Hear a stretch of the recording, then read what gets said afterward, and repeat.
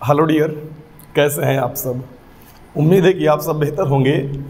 हम लोग भौतिकी में कुछ प्रूफ पढ़ रहे थे, है ना? कुछ टॉपिक थे जिसे हम लोग समाप्त कर रहे थे और आपने हमें ये बताया था वस्तु की दूरी, प्रतिबिंब की दूरी और फोकस दूरी में संबंध, ऐसे कुछ फार्मूले हम लोगों ने सॉल्व किए थे। तो हम लोगों को मिला था one upon f equal to one upon v plus one upon u अब उसी क्रम में आगे बढ़ेंगे, पर उससे पहले थोड़ा एक कन्फ्यूज़न आपका है, उसे हम दूर करना चाहेंगे। कुछ लोगों का ये क्वेश्चन था कि, सर, हमने वन अपान एफ़ बराबर one upon v plus one upon u का शॉर्टकट तो बता दिया था। किसके लिए बताया था? अवतल के लिए, और उत्तल के लिए आपको वो नहीं आया। तो चलिए, जिसका नहीं आया है, वो देख ले, जिसका आ गया है, बेहतर है। हमको लगा था कि आप उसे कर लेंगे, पर अफसोस कि आप नहीं कर पाए। थोड़ा उसमें एक थोड़ा सा पेज था। अगर आप समझे रहे होंगे प्रूफ को तो आप आसानी से कर लिए होंगे। चलिए, देखते हैं उस क्रम में आगे हम लोगों ने कहाँ पहुँचा क्या क्या किया था। तो सबसे पहले हम लोग क्या करेंगे? हम यहाँ ये जानना चाहते हैं कि one upon f equal to one upon v plus one upon u ये होता है। ये हम इसे प्रूव कर चुके हैं एक बार। बस थोड़ा आगे और समझना चाहते हैं कि एक विधि आपको नहीं आई है। हम लोग जितनी पॉसिबिलिटी है, हमने कहा है ना, भौतिकी में आप एकदम धैर्य बना के रखें। दुनिया में जो कुछ भी संभव हो सकता है फिजिक्स में, अगर आप मेरी क्लास कर रहे हैं भौतिकी की तो याद रखिएगा, फिर आपसे बेहतर कोई और नहीं होगा। ये मैं दावे से कह सकता हूँ। बस आपको करना क्या है, हर एक क्लास को पूरा धैर्य से शुरू से लेके अंत तक देखना है। एक सजेशन और देना चाहूँगा, अगर आप क्लास करते वक्त बोर होने लगते हैं, आपको लगता है कि एक घंटे की क्लास लंबी होती है तो सही बताया तो हम एक घंटे में शुरू भी नहीं कर पाते, पर मजबूरन मुझको लगता है कि वीडियो लंबा बन जाएगा तो लोग देखेंगे नहीं, है ना? इसीलिए मुझे इतना पढ़ाना पड़ता है तो ये मेरी मजबूरी है। तो आप क्या करें, अगर आपको तब भी बोरिंग लगती है क्लास तो आपके पास उसका एक बेहतर विकल्प है। आप इस वीडियो को 1.5 के स्पीड में या 1.75 या 1.25 जो ना स्पीड बढ़ा सकते हैं आप यूट्यूब पे तो आप स्पीड बढ़ा के देख लिया करें तो आपका 30-35 मिनट में पूरा वीडियो समाप्त हो जाएगा। है ना? तो इसीलिए अच्छे से चीज़ों को समझें और पूरी क्लासेस ध्यान से देखें। सब कुछ आएगा। हमने बताया ना, जो कुछ भौतिकी में हो सकता है, वो आपको पक्का आता रहेगा बस। बाकी दुनिया में किसको आ रहा है, किसको नहीं आ रहा है इट डजेंट मैटर अब देखिएगा, थोड़ा विश्वास करें, अच्छे समझे चीज़ों को। हमें समझना था one upon f equal to one upon v plus one upon u का फार्मूला हमने इसका लॉन्ग कट देख लिया था शॉर्टकट समझना था, अवतल का सब कुछ हो गया था, उत्तल का शॉर्टकट बाकी था। तो आज हम लोग पढ़ने वाले हैं, उत्तल दर्पण के लिए इसका शॉर्टकट क्या हो सकता है? तो देखिएगा सबसे पहला काम हम एक उत्तल दर्पण बना लेते हैं, ठीक है ना? तो हमारे पास ये एक दर्पण है, जो कि एक कैसा दर्पण है बच्चा? ये एक उत्तल दर्पण है, ठीक है ना? और इसे क्या कहते हैं? अब ये सब तो आपको आता होगा बेसिक चीज़ है। ये मुख्य अक्ष है। यहाँ पर इसका वक्रता केंद्र होगा, यहाँ कहीं फोकस रहा होगा ना? बिल्कुल नहीं।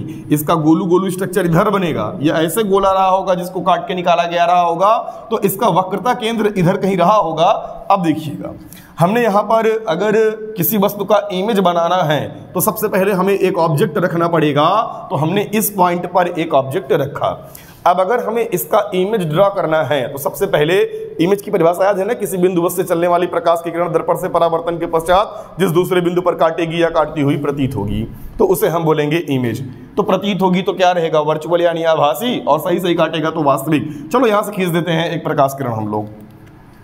जब यहाँ से एक प्रकाश किरण हमने ड्रॉ किया ऐसे तो हमें यह समस्या है कि ये कहाँ से जाएगी? अगर समांतर प्रकाश किरण आती थी तो ये पता था फोकस से होकर जाएगी या फोकस से आती हुई प्रतीत होगी, और ये समांतर तो कतई नहीं है। तो सबसे पहला काम क्या करेंगे? इस पर हम एक अभिलंब ड्रॉप कर देंगे। तो हमने इस पर एक अभिलंब खींचा है, ध्यान देना, ये नॉर्मल है, अभिलंब है, ठीक? ये वस्तु है तो वस्तु की दूरी अपन लोगों ने किससे लिखा था? यू से, और ये वक्रता केंद्र से, ध्रुव के बीच की दूरी को वक्रता त्रिज्या कहते हैं, और इसको हमने किससे लिख दिया है? आर से। अब देखिएगा, ये अभिलंब है। तो अब अगर प्रकाश किरण जितने अंश के कोण पर आई, उसे बोलेंगे आपतन कोण, और हमने इसको आई से लिख दिया। जितने अंश के कोण पर आएगी, उतने अंश के कोण पर जाएगी। प्रकाश के परावर्तन का नियम है। तो अब ये प्रकाश किरण क्या होगा? ये ऐसे इधर परावर्तित हो गई। तो इसे हम पीछे की ओर बढ़ाएँगे तो ये इस पॉइंट से आती हुई प्रतीत होगी। चला, दरअसल थोड़ा अच्छा बनाते हैं, जिससे कि समझ में आए आपको, ठीक? तो ये ऐसे आई और ऐसे चली गई। थोड़ा चित्र गड़बड़ बन गया, पर ध्यान दीजिएगा, हम बिटाएँगे नहीं अब। तो ये कोड हो गया आर ईमानदारी से आई और आर बराबर होना चाहिए, पर इसका दरअसल थोड़ा तबीयत खराब है, बराबर नहीं है बट डजेंट मैटर लो। अब बराबर लगने लगा ना? तो ये एन हो गया। जैसा भी रहा होगा तो जहाँ पर ये प्रतीत हुआ होगा, ये बनेगा इमेज ध्यान देना, इसको फोकस मत कह देना गलती से। समांतर वाला जब होता है, तब फोकस बनता है। तो ये हो गया इसका इमेज और इमेज है तो इसकी दूरी क्या लिखेंगे हम? वी ठीक है ना? बेसिक काम ये हो गया। ये वाला एंगल कितना है डियर आर है। ये वाला कितना है? आई ये आना चाहिए। और इस कोण को हमने अल्फ़ा मान लिया, इस कोण को हमने बीटा मान लिया और इस कोण को हमने गामा मान लिया। आपकी मर्ज़ी, आप ईटा, पत्थर कुछ भी मान लीजिए, सब सही है। अब यहाँ देखिएगा, एक बेसिक बात है, थोड़ा गौर से समझिएगा। जो त्रिभुज का बहिष कोण होता है, वो अंत कोण के योग के बराबर होता है। ये बात हम आपको पहले ही बता चुके हैं। बता चुके हैं। अब यहाँ देखिएगा, एक त्रिभुज हमें दिख रहा है ये वाला। दिख रहा है कि नहीं? ये। तो जो ये त्रिभुज दिख रहा है, ये यहाँ से पूरा ये गया और यहाँ से ऐसे जाने के बाद ऐसे गया। तो ये बहिष कोड आई हो गया। तो जो बहिष कोड आई है, ये अंत कोडों के योग के बराबर है, यानी अल्फ़ा और प्लस गामा। तो मैं आई बराबर अल्फ़ा प्लस गामा लिख सकता हूँ। ठीक है ना? अब आगे देखिएगा। यहाँ पर इसी के बाद देखिएगा। एक हमें ऐसे दिखा, ये वाला, जो परावर्तित किरण है, ये इस पॉइंट से प्रतीत हुई थी नहीं? देखिए। ये वाला, ठीक? तो जो ये वाला पॉइंट है, इस वाले पॉइंट पे ये टोटल एंगल है आई प्लस आर तो मैंने लिख दिया आई प्लस आर और ये बराबर किसके है? तो अल्फ़ा प्लस बीटा के। तो मैंने अल्फ़ा प्लस बीटा लिख दिया। ठीक है ना? अब यहाँ पर बात समझिएगा आप लोग। हम सभी लोग जानते हैं कि जो आई है, वो आर के बराबर है। परावर्तन के नियम से आई बराबर क्या होगा? आर तो हम यहाँ पर देखो आई आर के स्थान पर आई लिख दिए तो आई और प्लस आई कैसे? क्योंकि आई बराबर क्या होगा? आर और ऐसा करेंगे तो अल्फ़ा प्लस बीटा मिला। आई आई हो जाएगा टू आई बराबर अल्फ़ा प्लस बीटा ठीक है? आई का मान अगर हम यहाँ रख देते हैं तो हमें मिलेगा टू अल्फ़ा प्लस गामा बराबर अल्फ़ा और प्लस बीटा एक काम करते हैं टू को अंदर भेज देते हैं। तो ये बन जाएगा टू अल्फ़ा और plus two gamma equal to alpha और प्लस बीटा। अब हमें काम ये करते हैं कि टू गामा को इधर रहने देते हैं।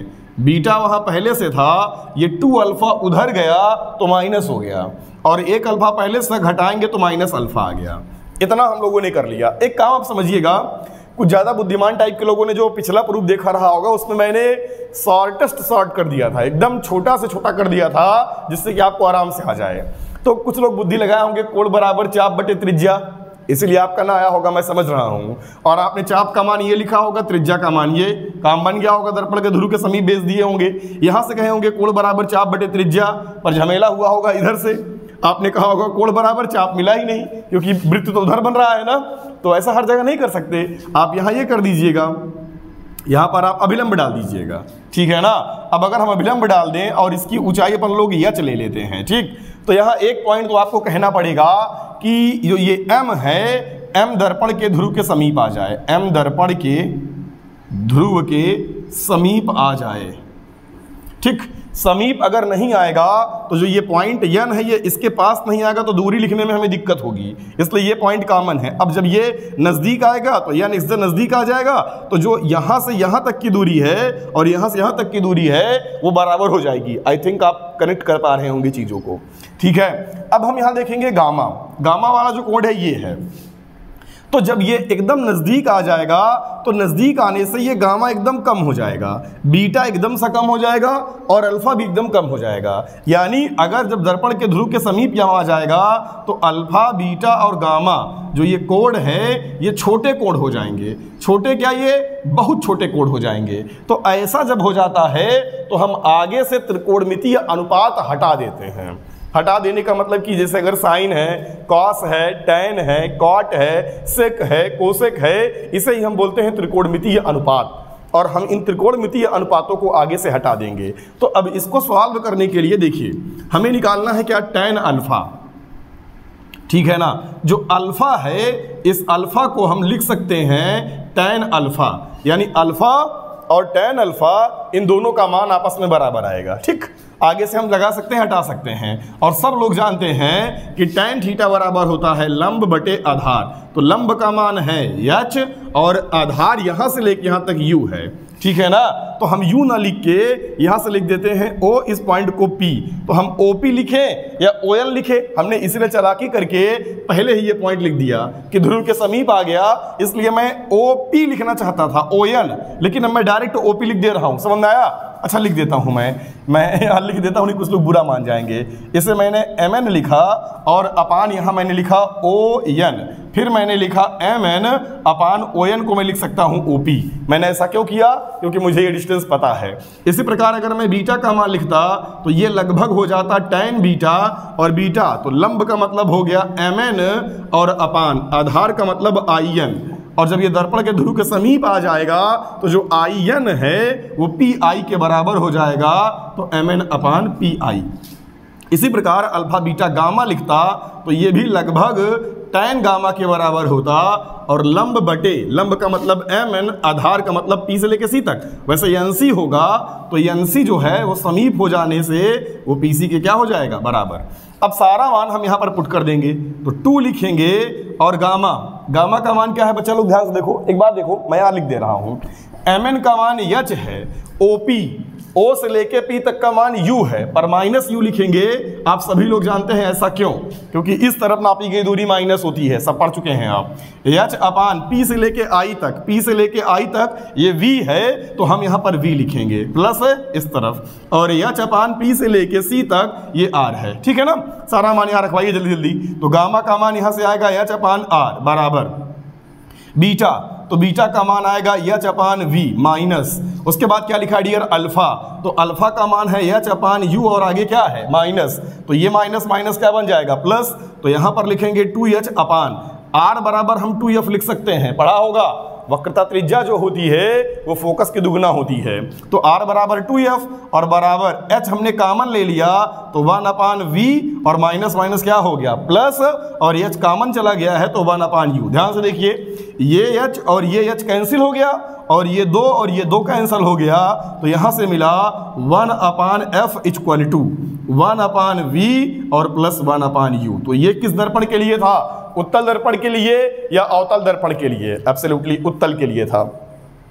तो आपने हर एक फार्मूले का शॉर्टकट भी पढ़ लिया लॉन्ग कट भी पढ़ लिया। अब आपके दिमाग में एक बात ज़रूर आई होगी कि सर, जब आपने अवतल दर्पण के लिए ऐसे पढ़ाया था तो अगर मैं उसमें अल्फ़ा बराबर यानी जब नज़दीक लिए थे तो कोण बराबर चाप बटे त्रिज्या ना करके अभिलंब डाल के टेन थीटा बराबर लंब बटे आधार कर लेते तो एब्सोल्युटली 100 परसेंट वो राइट था। और आप जानते हैं दुनिया के किसी भी किताब में या किसी भी बंदे का देखेंगे, सब ऐसे ही करते हैं। सब का प्रूफ करने का जो स्टाइल है, वो यही है। पर ये वही तो हुआ ना यार कि कोण बराबर चाप बटे त्रिज्या। अगर आप ध्यान से देखें तो बस नज़रिया बदल गया यार। मुझे तो सब एक ही लगता है। है ना? कि ये नज़दीक आएगा, ये इसके नज़दीक जाएगा तो बना तो दिए वही जो उसमें किए थे। बस तरीका बदल गया। तो आप अवतल, उत्तल वाली हाँ सॉरी अवतल वाला अब तीन तरीके से कर सकते हैं। एक ये भी तरीका मिल गया आपको। तो फिजिक्स बेहतरीन चीज़ है। जहाँ आप चीज़ों को महसूस कर सकते हैं तो हम उम्मीद करते हैं कि अब आपको इस चीज़ में तो कोई लफड़ा नहीं होगा कि वन अपान एफ़ बराबर one upon v plus one upon u का कोई प्रूफ आपसे अटक जाए। वी का मतलब प्रतिबिंब की दूरी, यू का मतलब वस्तु की दूरी, और यफ का मतलब डियर फोकस दूरी। अब एक काम ये करिएगा आप, और ज़रूर करिएगा अगर आपको चीज़ें कम समझ में आए तो आप करेंगे क्या? इन चीज़ों को एक बार और रिपीट करके देख लीजिएगा। अब इतना एहसान कर लीजिएगा अपने ऊपर आप, ठीक है ना? अगर ये प्रूफ कम समझ में आया होगा तो। दरअसल जब आमने सामने कम्युनिकेशन होता है तो हम चीज़ों को बेहतर तरीके से आपको याद करा सकते हैं, पर अभी हम ऐसा नहीं कर सकते ना। ऐसा करने पे समय की बर्बादी हमारी भी होगी और आपकी भी होगी। हम इसी प्रूफ को तीन बार बताएँगे, अच्छे समझाएँगे बार बार आ जाएगा। पर यार ये टाइम की बर्बादी हो गई ना, जब हमारे पास सुविधा है कि हम यही चीज़ तीन बार देख सकते हैं तो कहे लिए हम फिर ऐसा अपना समय बर्बाद करें व्यर्थ का? और सही बात यह है कि बर्बाद तो कर ही रहे हैं, ये ज्ञान दे के कि आप तीन बार देख लीजिए। चलिए फिर अगला टॉपिक देखते हैं, इसका क्या हो सकता है? ठीक है? तो हम लोग समझ ये रहे थे कि अगर इमेज बन जाएगा तो उसके लिए जो संबंध था, है ना? ऑब्जेक्ट से अगर डिस्टेंस रहे और इमेज से डिस्टेंस रहे या फोकल लेंथ जो रहे, इनमें क्या रिलेशन था? लेकिन, मुद्दा यह है कि जब अगर हम किसी दर्पण में किसी वस्तु का इमेज देखते सॉरी यार, किसी दर्पण में अगर किसी वस्तु का इमेज देखते हैं, सही था? सॉरी वापस कर दीजिएगा हमारा। तो अब इसमें क्या मामला होगा कि जो इमेज होगा, या तो वो इनराज हो जाएगा पहले की अपेक्षा बड़ा हो जाएगा या डिमिनिश हो जाएगा? यानी पहले की अपेक्षा स्मॉल यानी छोटा हो जाएगा। तो अब हम यही समझना चाहते थे कि जो प्रतिबिंब है, वो या तो वस्तु के बराबर बनता था, या वस्तु से बड़ा बनता था, या वस्तु से छोटा बनता था। तो इसे हम हिंदी में, शुद्ध हिंदी में कह सकते हैं कि वस्तु का जो इमेज है, अगर पहले की तुलना में बदल गया, बड़ा हो गया तो हम ये कह सकते हैं वो आवर्धित हो गया। तो अब हमारा क्वेश्चन ये है कि वस्तु का जो प्रतिबिंब है, वो वस्तु की तुलना में कितना गुना बड़ा हो गया? कितना गुना छोटा हो गया? तो इसे हम बोलेंगे कितना गुना आवर्धित हो गया। तो आवर्धित हो जाने से तात्पर्य क्या है?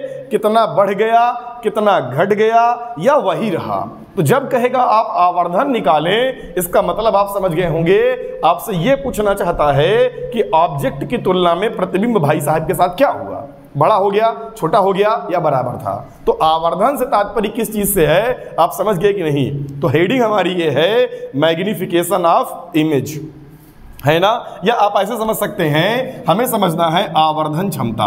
अगर हम हिंदी वालों का ध्यान दें थोड़ा तो। तो हमें समझना है आवर्धन क्षमता, यानी यहाँ पर हमें निकालना है मैग्निफिकेशन। ठीक है ना? दोनों लोगों का काम हो सकता है, हम चीज़ों को बोल दे रहे हैं तो आपको इसमें कोई दिक्कत नहीं आ रही है। अब यहाँ समझिएगा, अगर हम आवर्धन क्षमता की बात करें तो परिभाषा क्या होती है? ये समझिएगा। लिखते इसे हम यम से हैं। आवर्धन क्षमता यम बराबर हम कहते हैं प्रतिबिंब की लंबाई। यानी जो प्रतिबिंब बना है, उस प्रतिबिंब की लंबाई में अगर हम वस्तु की लंबाई से भाग कर दें, बटे वस्तु की लंबाई तो हमें जो कुछ भी मिलेगा, हम उसे बोलेंगे आवर्धन क्षमता। यानी यम बराबर होता है आई बाई ओ बस समझते जाइएगा। तो अगर आवर्धन क्षमता की परिभाषा पूछे आपसे तो आप कहेंगे प्रतिबिंब की लंबाई, बटे वस्तु की लंबाई दैट इज़ मैग्निफिकेशन उसी को हम बोलेंगे आवर्धन क्षमता।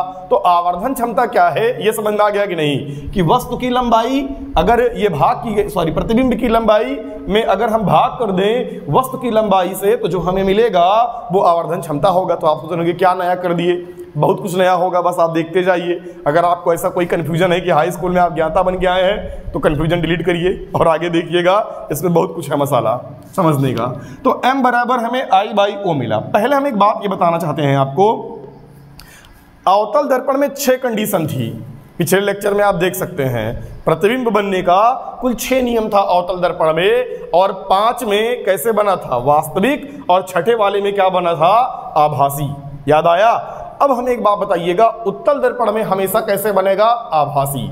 उत्तल में आभासी जो प्रतिबिंब था, वो सीधा था। तो हमें एक बात ये पता चली कि जो अपना उत्तल है, बस ऐसे रफ कार्य के लिए, जो उत्तल है, इसमें बनने वाला प्रतिबिंब गारंटी ले सकते हैं हम कैसा होगा? आभासी। और हमेशा छोटा होगा, ये भी मैंने बताया था। और जो अवतल होता है, इसमें बनने वाला प्रतिबिंब आभासी भी था और वास्तविक भी था। पाँच कंडीशन में वास्तविक था, एक कंडीशन में आभासी था। और अगर वो कंडीशन आपको याद हो तो आभासी वाले में जो प्रतिबिंब था, वो सीधा था। आभासी वाले में सीधा था और वास्तविक वाले में उल्टा था। कुछ समझ में आ रहा है? तो सीधा मतलब ऐसे, उल्टा मतलब इसका ऐसे। है ना? अगर ये वस्तु है तो ऐसे ही बन जाए प्रतिबिंब मतलब सीधा है। ऐसे बन जाए मतलब उल्टा है। और हमने बताया था कि मुख्य अक्ष के ऊपर नापी गई दूरी धनात्मक और नीचे नापी गई दूरी ऋणात्मक। अब समझिएगा। तो किसी वस्तु का जो प्रतिबिंब है, वो कैसे आवर्धित होगा, पहले ये समझिएगा। अगर हमारे पास जो प्रतिबिंब है, अगर वो वास्तविक है कैसा है? वास्तविक है। तो इसका मतलब आप गारंटी ले सकते हैं कि वो उल्टा होगा। और उल्टा होगा तो जो प्रतिबिंब की लंबाई होगी, वो माइनस होगी, क्योंकि नीचे बना होगा।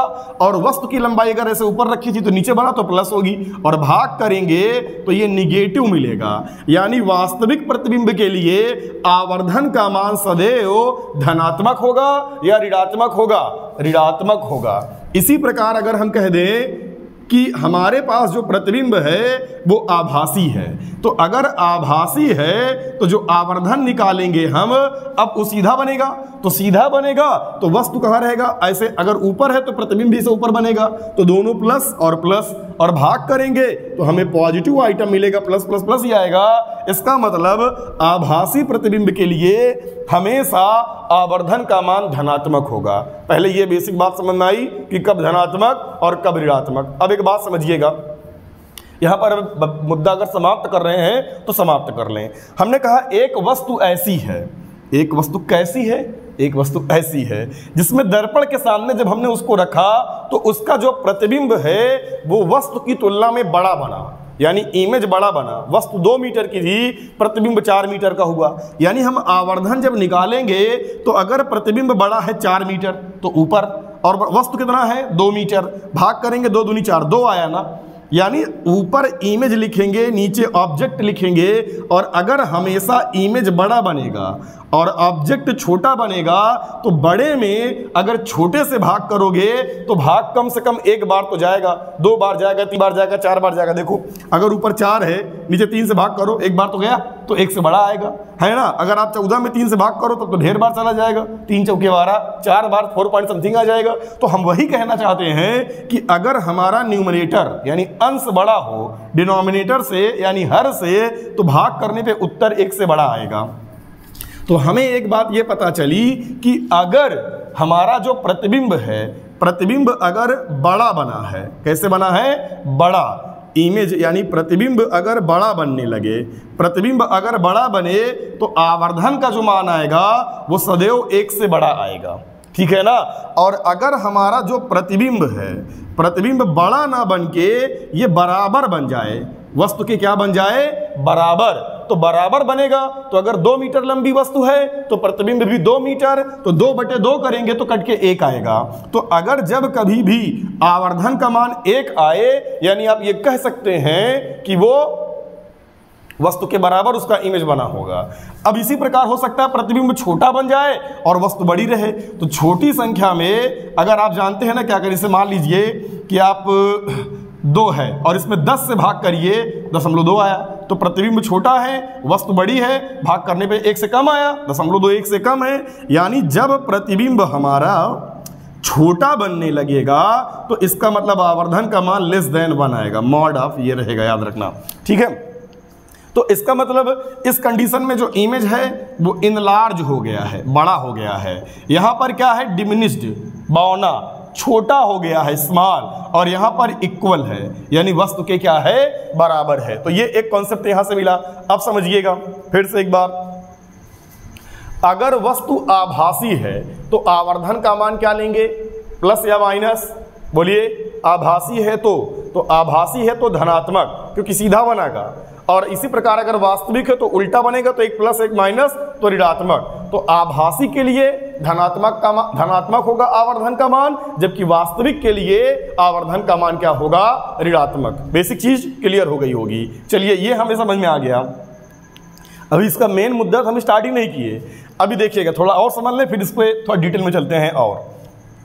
हमें यह समझना था कि जैसे अगर मान लीजिए किसी वस्तु का प्रतिबिंब दो गुना बड़ा बना है तो अगर वस्तु की लंबाई यक्स है तो प्रतिबिंब की लंबाई टू यक्स और ये कट गया तो आवर्धन का मान दो आया। हम कह देते कि वस्तु की अपेक्षा प्रतिबिंब दस गुना बड़ा बना है तो वस्तु की लंबाई अगर यक्स तो प्रतिबिंब की लंबाई दस यक्स तो कट गया तो आवर्धन का मान दस आया। ऐसे मैं कह देता, सौ गुना बड़ा बना है तो सौ लिखते तो सौ आता।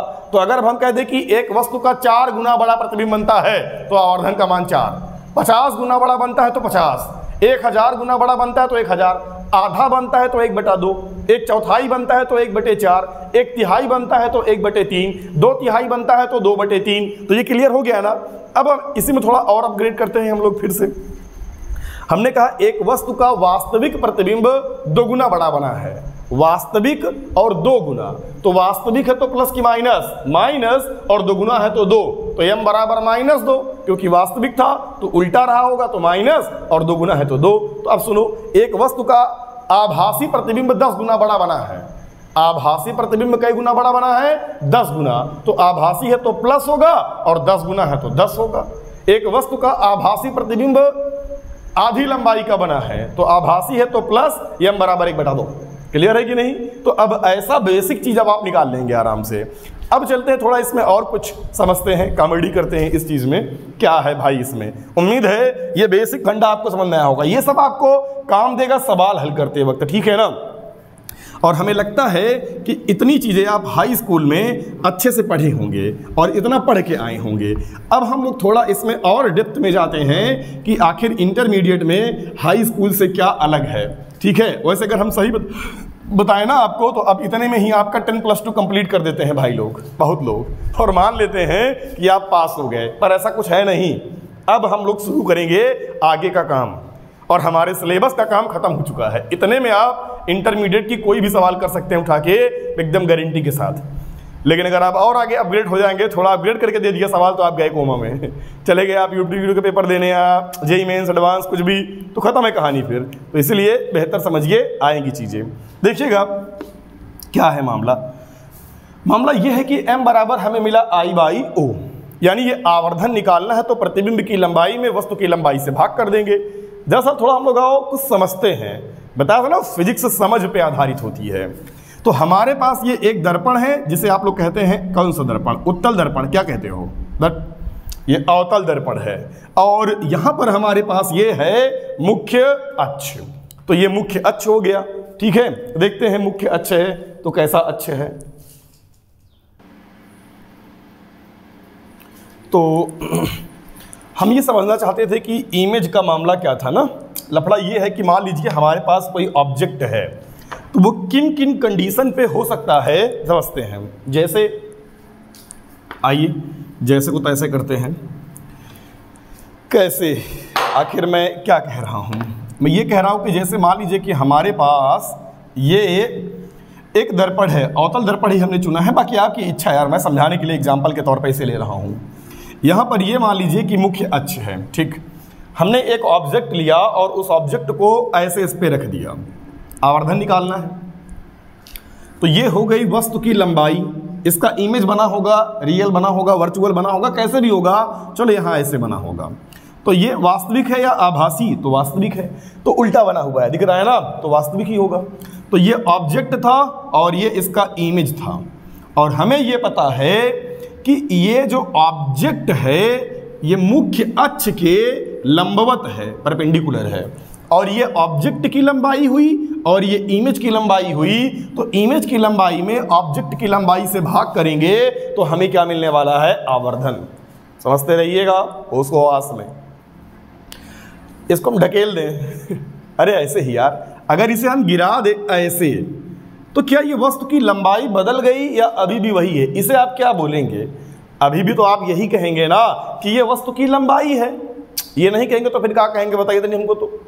ये भी तो वस्तु की ही लंबाई है। सोचो, एक छः फीट लंबा आदमी था, खड़ा था तो आपने कहा, भाई, ये छः फीट है। लेट गया तो कहा, आधा फीट का हो जाएगा। तब भी तो उसकी लंबाई छः फीट होगी ना, चाहे वो ऐसे रहे और चाहे लंबा लंबा लेट जाए। कैसे भी रहे, लंबाई जितना उस व्यक्ति की होगी, वो व्यक्ति उतना ही लंबा कहलाएगा। ऐसा नहीं होगा कि लेट जाने के बाद लंबाई बदल जाएगी। तो इसलिए याद रखना, लंबाई कहते किसे पता है? किसी वस्तु की जो सबसे लंबी भुजा होगी, वही लंबाई कहलाएगी। नहीं कंफ्यूज हो जाओ कि जो सीधे ऐसे रहेगा, उसी को लंबाई नापेंगे। अभी भी ये लंबाई ही है तो ये हो गई वस्तु की लंबाई। और इसका जो इमेज बनेगा दैट इज़ ऑब्जेक्ट इसका जो इमेज बनेगा, ये मान लो यहाँ बना। अब अगर ये इमेज है तो आप हमें बताइएगा, ये भी ऐसे ही बना है। तो ये हो गई इमेज की लंबाई।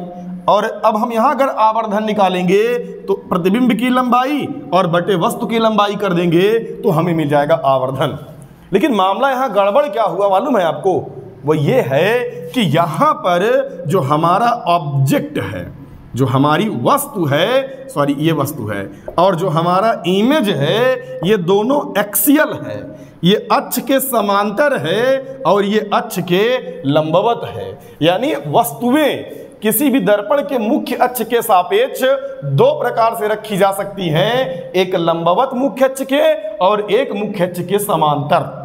समझ में आया? तो प्रतिबिंब भी दो प्रकार से बनेगा, एक लंबवत और एक समांतर। तो आवर्धन भी दो प्रकार से आएगा, एक लंबवत और एक समांतर। बात समझ में आई? अब आइए समझते हैं। यहाँ पर हम क्या बताना चाहते हैं? तो अगर हम सिर्फ़ और सिर्फ़ रेखीय आवर्धन की बात करें, नहीं, रेखीय आवर्धन नहीं, अगर हम बात करें आवर्धन की तो आवर्धन दो प्रकार का होता है। एक होता है लीनियर। लीनियर का मतलब होता है रेखीय, और वो यही है जो हम लोगों ने ऊपर लिखा है। ये आवर्धन नहीं, ये सही मायने में था, रेखीय आवर्धन। ठीक है? तो एक हो गया आवर्धन लीनियर यानी रेखीय आवर्धन, और दूसरा होता है एंगुलर तो एंगुलर का मतलब होता है कोणीय आवर्धन। बात समझ में आ रहा है कि नहीं? कोणीय आवर्धन। तो हम आवर्धन दो प्रकार से पढ़ेंगे, पर याद रखिएगा, जो रेखीय आवर्धन होता है, ये मिरर में आएगा, और ये आएगा लेंस में। बात समझ आ रही है कि नहीं? तो एक हो जाएगा लेंस का हिस्सा और एक हो जाएगा किसका हिस्सा? मिरर का। तो इसे हम लोग आगे पढ़ेंगे तो आज अपना काम है नहीं और आज हम लोग यही पढ़ रहे हैं। तो यहाँ अगर मैं आवर्धन कहूँगा तो आप समझ जाइएगा कि हम बात कर रहे हैं रेखीय आवर्धन की लीनियर की। बात समझ आई? अब चलिए हम ये जानना चाहते हैं कि जो लीनियर है, जो रेखीय है, वो कितने प्रकार का है? तो रेखीय वाला भी दो प्रकार का था और वो कौन कौन सा था, देखिएगा। तो अगर हम बात करें रेखीय आवर्धन की। तो रेखीय आवर्धन दो प्रकार का है और दोनों प्रकार में एक में जो वस्तु है, वो नॉर्मल है। तो हम इसे बोलेंगे नॉर्मल मैग्निफिकेशन यानी रेखीय आवर्धन। और जो अगला था नॉर्मल के साथ अगला था एक्सियल तो इसे बोलेंगे हम एक्सियल मैग्निफिकेशन तो एक्सियल मतलब अच्छी और नॉर्मल मतलब होता है लंबवत। तो इसमें जो दर्पण के सामने वस्तु है, वो ऐसे रखी होगी। मैं समझाने के लिए बता दे रहा हूँ, बता दे रहा हूँ, नॉर्मल वाले में। और एक्सियल वाले में जो वस्तु होगी, वो ऐसे रखी होगी। तो उम्मीद करते हैं आप समझ गए होंगे। ऐसे रहेगा तो एक्सियल अच्छी और अगर ऐसे रहेगा तो नॉर्मल यानी लंबवत। तो रेखीय आवर्धन दो प्रकार से हम निकालेंगे। एक निकालेंगे कौन सा? एक्सियल, और एक कौन सा निकालेंगे? नॉर्मल। तो एक्सियल वाले में क्या है कि प्लेन के, यानी दर्पण के लंबवत है वस्तु। और नॉर्मल वाले में क्या है कि जो वस्तु है, वो दर्पण के पैरल है। घुमा दिया, दिमाग घूम गया ना? अक्ष के लंबवत है, लेकिन दर्पण के पैरल है। अक्ष के समांतर है पैरल है, लेकिन दर्पण के लंबवत है। तो जैसे आपको लगे, आप वैसे समझिएगा। अब चलिए, मैं इस नॉर्मल वाले को लिख दूँगा एम ऐसे परपेंडिकुलर टाइप का। ठीक है? और एक्सियल वाले को मैं लिख दूँगा ऐसे।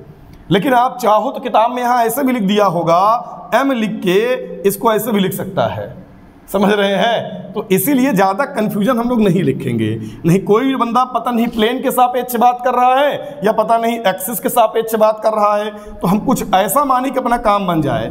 तो मैं एम यहाँ एन लिख दूँगा तो एन फॉर नॉर्मल और अगर मैं एम ए लिख दूँगा तो समझ जाना ये कौन सा है एक्सियल ठीक है? अब आइए, आगे चलते हैं।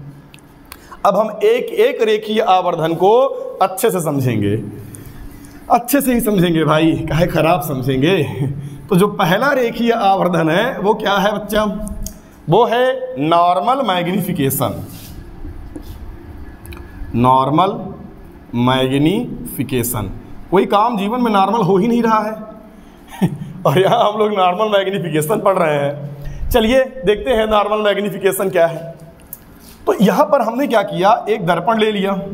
और इस दर्पण को दुनिया वाले क्या कहते हैं? वही जो हम लोग कहते हैं। एक अवतल दर्पण है। और यहाँ पर इसका क्या था बच्चा? फोकस था। और यहाँ पर वक्रता केंद्र। अरे फेंको इसको नाला में। फोकस, वक्रता केंद्र सबको। है ना? अब समझना है बस, ऐसे काम चलाऊं। यहाँ पर एक वस्तु रखी थी। क्या कहते हैं? हमें इसका इमेज बनाना है। अरे कहीं बने, कैसे बने? ये जानते हैं कौन कहाँ बनता है? नियम कानून बहुत पढ़ लिए हैं हम लोग, क्या कहते हो?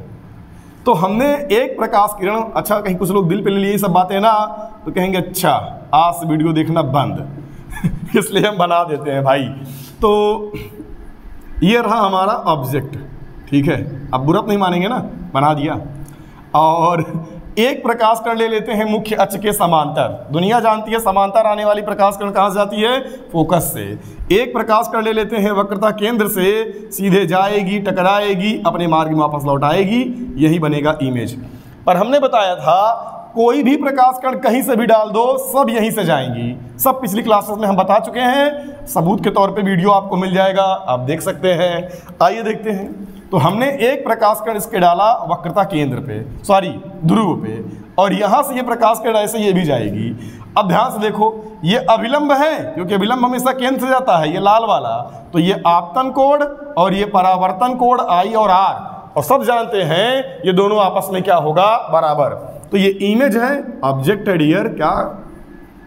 ऊपर लिखवा रहे हो। और ये इमेज है तो आई आई डैश और हम सभी लोग जानते हैं, अगर इनमें देखा जाए तो एक बात कॉमन है। अगर इसको हम मान लेते हैं ध्रुव, और ध्रुव को चलो पी से लिख देते हैं तो प्रतिबिंब की दूरी वी से, वस्तु की दूरी किससे लिखते हैं? यू से।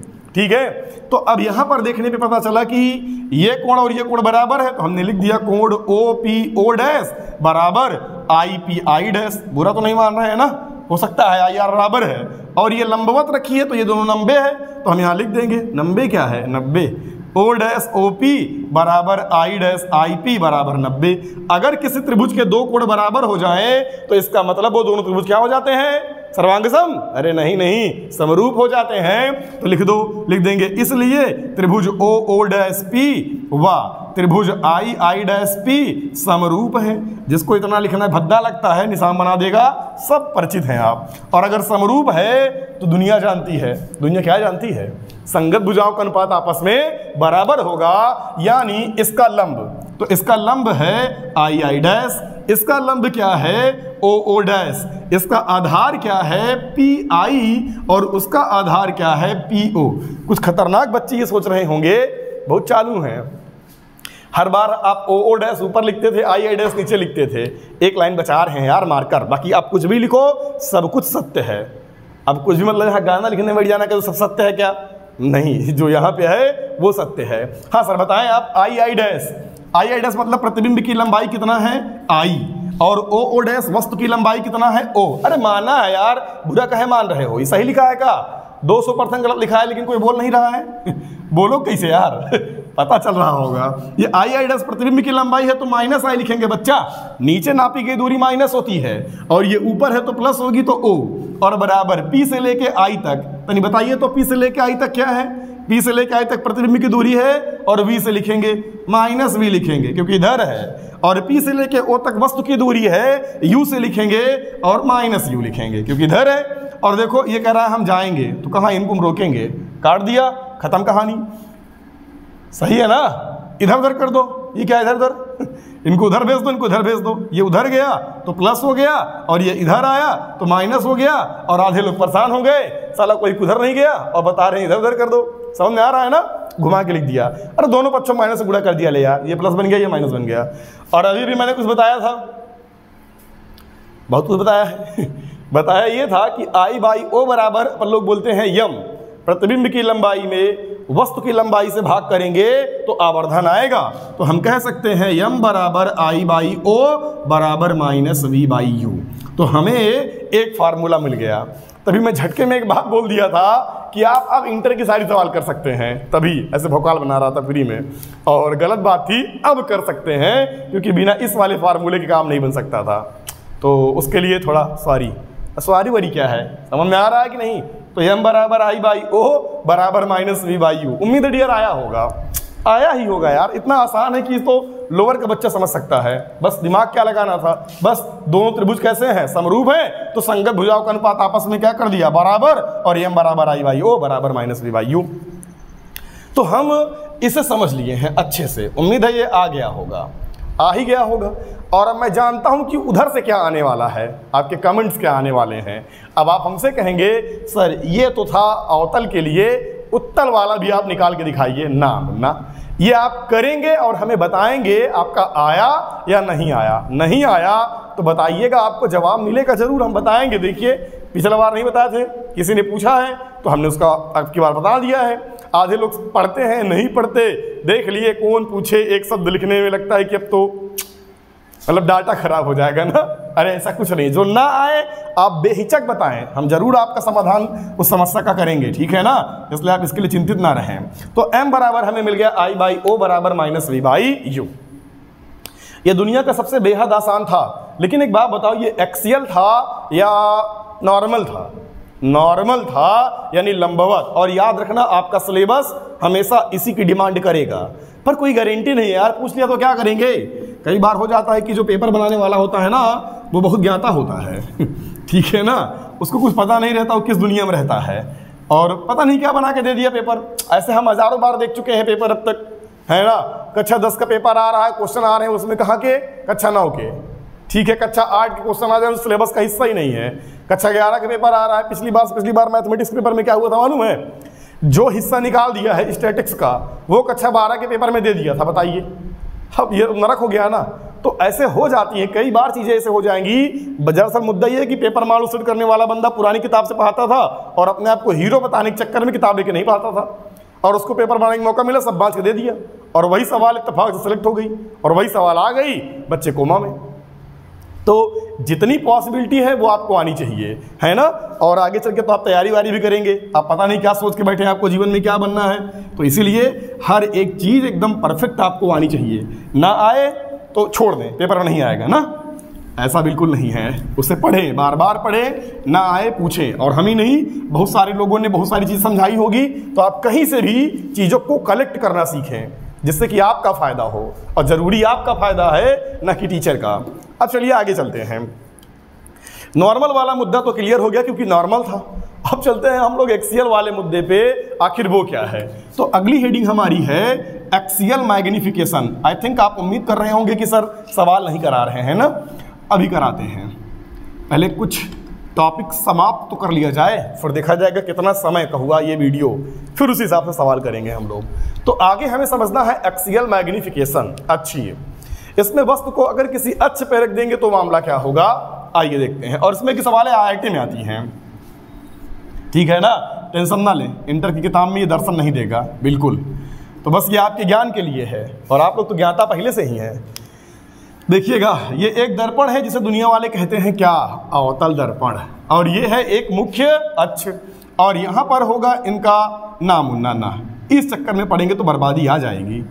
ना बनाओ। सिर्फ़ समझने के लिए काम भर का सोचो।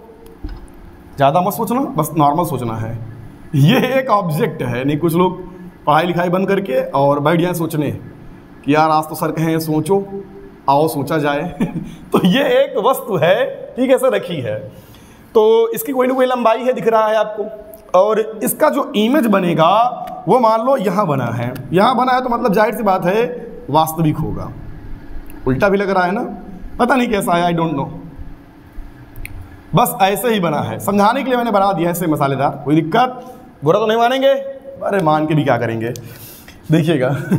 तो ये हो गया हमारा ऑब्जेक्ट और ये क्या हो गया? इमेज यहाँ से इस छोर की कोई ना कोई तो दूरी नहीं होगी। और इसे हम वस्तु अगर मान लें, छोटकू सी, बिंदु वस्तु तो इसकी जो दूरी है, मैंने इसको मान लिया u1 ध्यान से देखना। इस दूरी को मैंने क्या माना? U1 तो इसका जो अंतिम छोर है, इस दूरी को हमने क्या मान लिया? U2 तो एक हो गया u1 एक हो गया u2 इसी प्रकार अगर इस वाले हिस्सों को देखें, ये जो ब्लैक ब्लैक है है ना? इस वाले हिस्से की जो है, इसकी लंबाई मैंने मान लिया v1 तो यहाँ वाले हिस्से से जो ये है, वो क्या होगा? V2 पहले हमें ये बताइए, ये आपको समझ में आ रहा है या जा रहा है? कुछ समझ में नहीं आ रहा है कि यहाँ पर हमने क्या बनाया, क्या समझाया, सब भाड़ में जाए। ऐसा है क्या? सब भाड़ में जाए? नहीं यार, ऐसा मत करो। आ रहा होगा। बेसिक है, इसमें कोई दिमाग लगाने की ज़रूरत नहीं है। चलिए, देखते हैं। अगर हम नामकरण कर दें, नामकरण करने में तो आगे हैं हम। समझ लीजिए कि अगर मैं कह देता कि ये हिस्सा ए है, ये हिस्सा बी है, ठीक? तो ये वाला हिस्सा बी होगा बी डैश हो गया और ये हिस्सा हो गया ए डैश ऐसे ही बस चीज़ें थी। और थी तो क्या करें हम? है तो हैं। अगर मैं मैं लेंथ ऑफ़ ऑब्जेक्ट आपसे पूछता L E N G T H length of object यानी वस्तु की लंबाई अगर मैं आपसे पूछूँ ये नीला वाला जो मार्कर है, यही वस्तु की लंबाई है। देखो कितना आराम से बता रहे हैं, समझ लेना। क्योंकि ये चीज़ें थोड़ा जटिल हो जाती है ना, आप जीवन में पढ़ते हैं तो नहीं इसको सिलेबस मान के कि हमारे सिलेबस में नहीं छोड़ दो। तो इसीलिए इसको धैर्य से बता रहे हैं, आराम से समझो, आएगा ज़रूर। तो देखो, ये हो गया ऑब्जेक्ट की लंबाई। अब यहाँ लंबाई का मतलब समझने का ऐसे रहेगा तब। अगर ऐसी बात है तो ये बोर्ड घुमा खड़ा कर देंगे तो ये लंबा लंबा दिखने लगेगा, सारा कन्फ्यूज़न दूर आपका। आपको क्या दिखता है डिजन मैटर है क्या? ये समझो। तो ये दूरी है u1 और ये दूरी है u2 इसमें से ये निकाल दें तो यही बचेगा। इसका मतलब जो इसकी लंबाई है, वो mod of u2 minus U के बराबर है। ठीक है ना? इसी प्रकार अगर मैं आपसे कहता कि अगर मुझसे निकालना हो लेंथ ऑफ़ इमेज यानी कि जो प्रतिबिंब है, उसकी लंबाई क्या होगी? तो प्रतिबिंब ये दूरी कितना है? V1 ये v2 है। इसमें से ये निकाल दें तो होगा प्रतिबिंब की लंबाई, यानी mod of v2 two minus v one mod ये बता रहा है कि लंबाई है तो प्लस नहीं होगी। अब माइनस में कैसे कोई चीज़ हो सकता है? तो ये हो गया। माइनस सिर्फ़ डायरेक्शन बताता है कि इस तरफ़ या उस तरफ़। हमने यहाँ पे लेंथ ऑफ़ ऑब्जेक्ट और लेंथ ऑफ़ इमेज के बारे में बातें कर लिया। अच्छी बात है भाई, बातें ही तो कर रहे हैं हम लोग और कर क्या रहे हैं। चलिए बेसिक चीज़ है। हमें निकालना क्या था डिगर आवर्धन। और कौन सा आवर्धन निकालना है? एक्सियल ठीक है ना? यानी यम ए जब ए लिख देंगे, समझ जाना। मास्टर ऑफ़ आर्ट ना? अरे नहीं यार एम एक्सियल एक्सियल अच्छी है। तो इसका मतलब लिखते हैं प्रतिबिंब की लंबाई ऊपर और वस्तु की लंबाई नीचे। ये तो एकदम गांठ बाँध लो इस बात को कि बस प्रतिबिंब की लंबाई ऊपर, और प्रतिबिंबवा जी है कौन? V2 टू माइनस वी अरे यार v1 है। और अपान यहाँ क्या है? U2 टू माइनस तरीके u1 ठीक है ना? हमने ये हिस्सा कवर कर दिया यहाँ पे। इतना लिख लिया। समझ में आ रहा है? उम्मीद है ये आ रहा होगा। ठीक है ना? आप इसे धैर्य से समझेंगे चीज़ों को तो आएगा ज़रूर। यहाँ पर चलिए जानते हैं क्या दिक्कत है कि अगर हम लोग ऐसे हल करते हैं चीज़ों को तो बेहतर है, पर एक थोड़ा समस्या आ जाएगी आपको। इसे थोड़ा हम इसमें करेक्शन कर देते हैं। वो क्या करेक्शन है, समझिएगा। जो ये ए वाला हिस्सा है, वो इधर बना है, और बी वाला हिस्सा इधर बना है। ध्यान देना इमेज अगर यहाँ ए बी ऐसे है तो ए बी यहाँ ऐसे बना है। यानी इसका जस्ट उल्टा, है ना?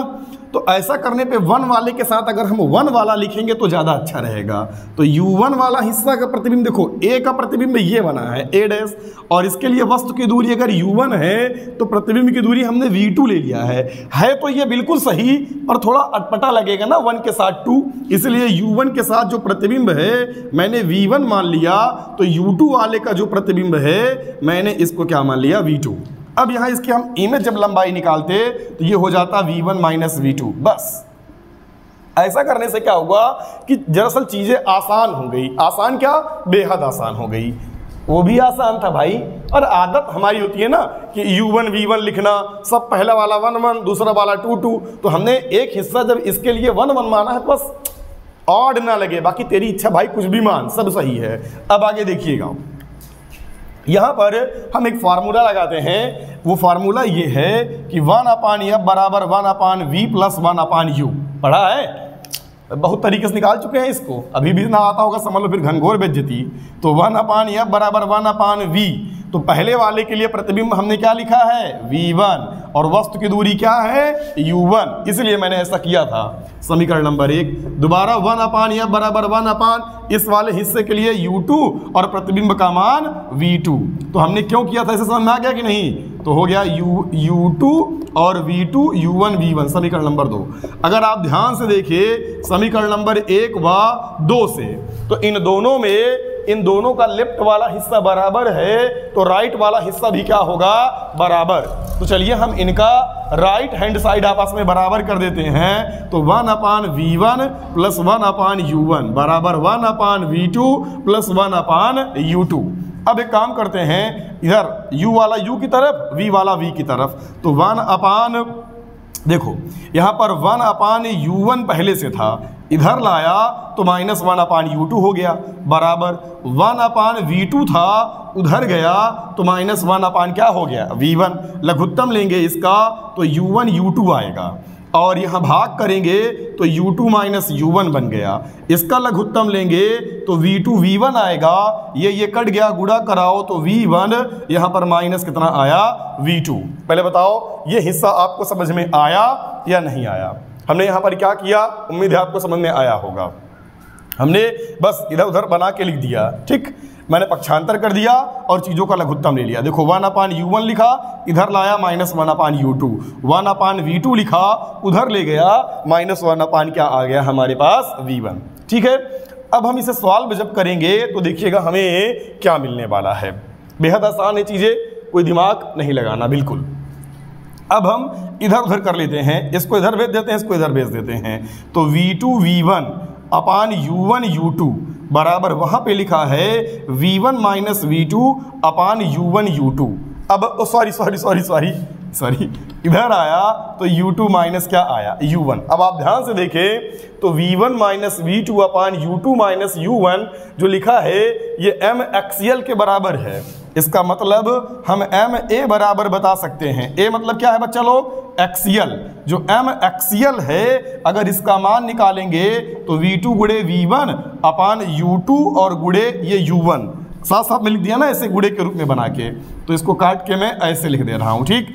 अब बताओ, v बाई यू देखो यहाँ मैं दोनों में अगर माइनस लगा दूँ, कोई दिक्कत? बिल्कुल नहीं। तो मुझे मिला m जो एक्सियल था, है ना?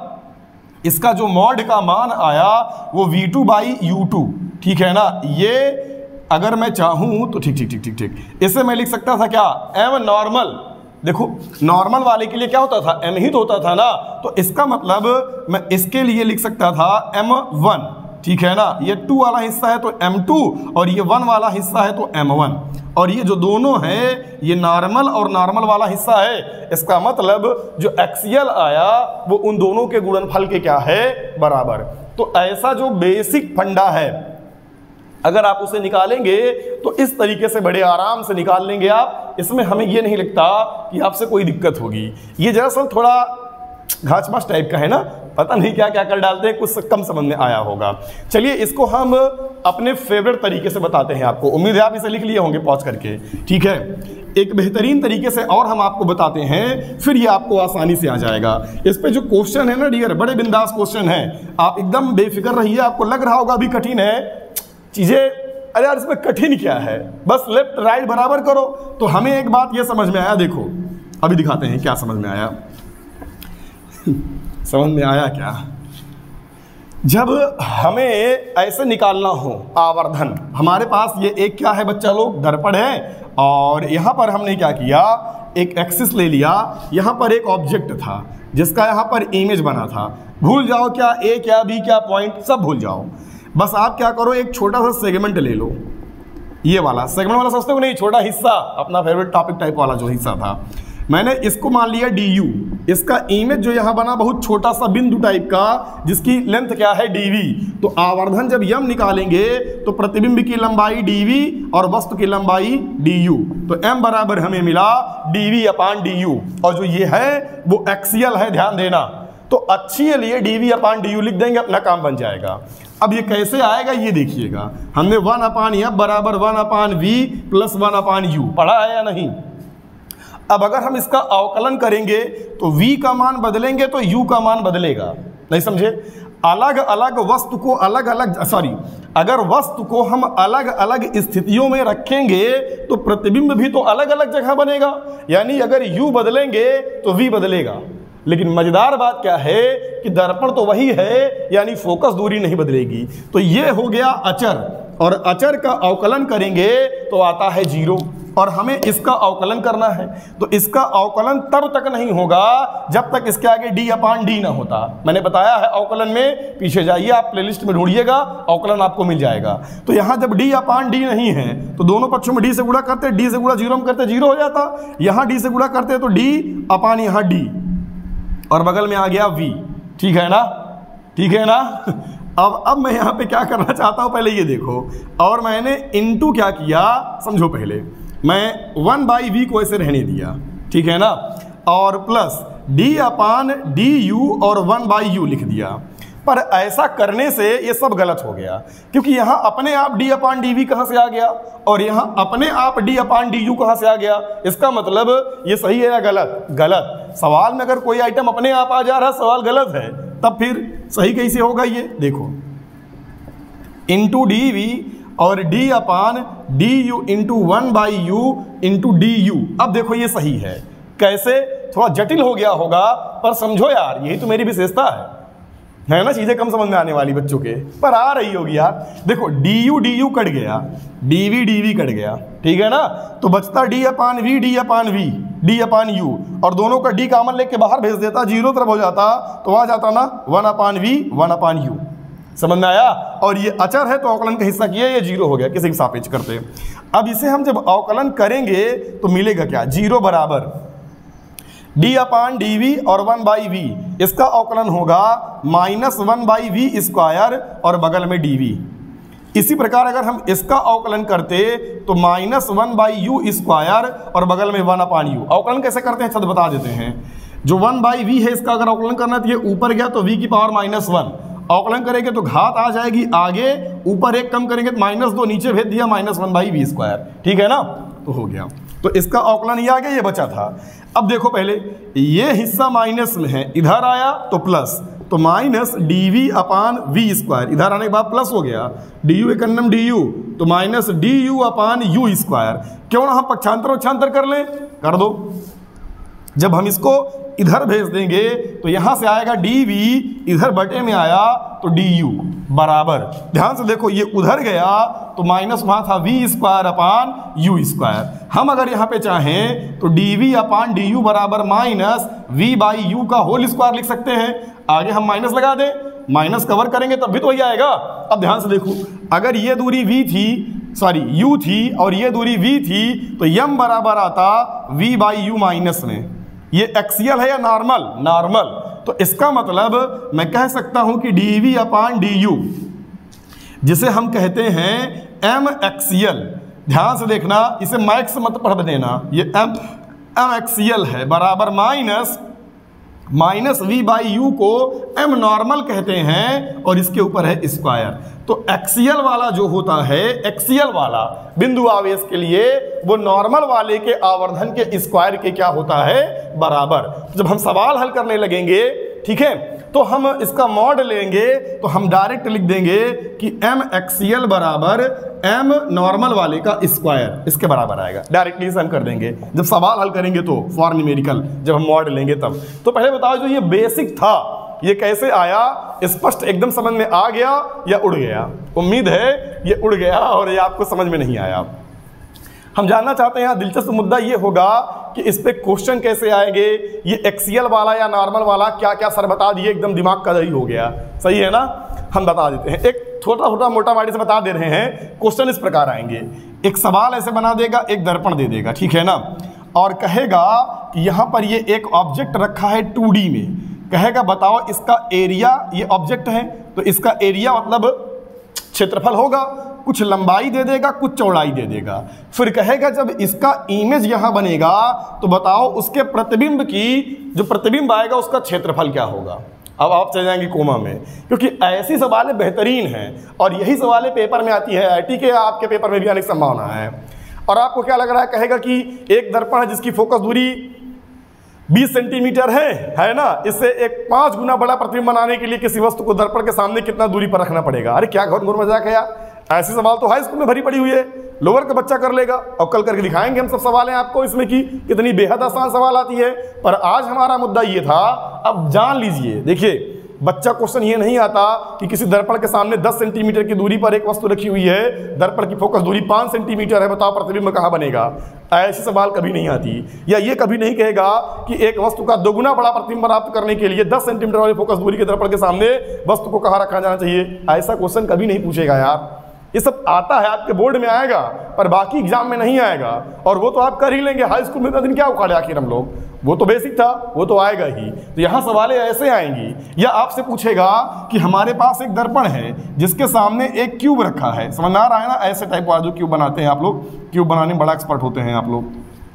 कहेगा, इसकी लंबाई ये दो सेंटीमीटर है, ये चार सेंटीमीटर है, ये छः सेंटीमीटर है, ये तो क्यूब नहीं हो गया। ये तो ठीक है ना, ये तो घनाब हो गया ना। ठीक है ना, ऐसा नहीं। चलो, यहाँ दो दो दो है, सब दो दो है। और फिर कहेगा, इसका जो इमेज बनेगा, प्रतिबिंब बनेगा, उसका वॉल्यूम बताओ, उसका आयतन बताओ। क्वेश्चन ऐसे आएगा। ठीक है ना? तो हम लोग ऐसा जो क्वेश्चन है, दमदार टाइप का, आसान टाइप का, सारा क्वेश्चन वाला जो मामला होगा, उसे हम लोग एक अलग से वीडियो में कवर करेंगे। मेरा मूड था, इसी में निपटा दें। पर हमें लगता है कि अब अच्छा खासा टाइम हो गया होगा। है ना? लगभग एक घंटे हो गए होंगे तो ज़्यादा लंबा खींच देने पे फिर आप सो जाएँगे और आप पढ़ेंगे नहीं। चलिए, हम आपसे ये नहीं कह सकते। क्या अपील करें आपसे कि थोड़ा आप लोगों को दिखाएँ, सबके पास भेजें, ये करें, वो करें बड़ा अच्छा नहीं लगता हमें। पर हमें लगता है कि आप कई बार ऐसा था ना मतलब भावनाओं को समझ लिया जाता है, शब्दों में क्या रखा है। ठीक तो हम क्या कहना चाहते हैं, हम आपसे क्या चाहते हैं, ये आपको, हो सकता है हमसे ज़्यादा बेहतर पता हो। चलिए, ठीक है तो उम्मीद करते हैं कि आप समझ गए होंगे हम क्या कहना चाहते थे। मिलते हैं नेक्स्ट क्लास में। Best of luck